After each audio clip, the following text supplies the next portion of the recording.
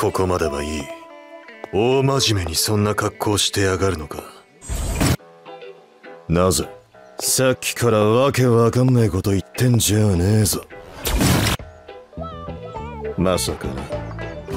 俺のスタープラチナを知ってるだと。到着到着。やれやれ。骨が折れそうだぜ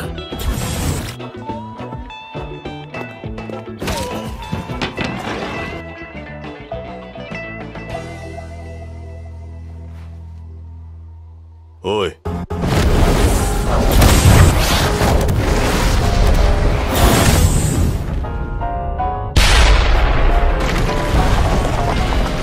ふん。ダメだね。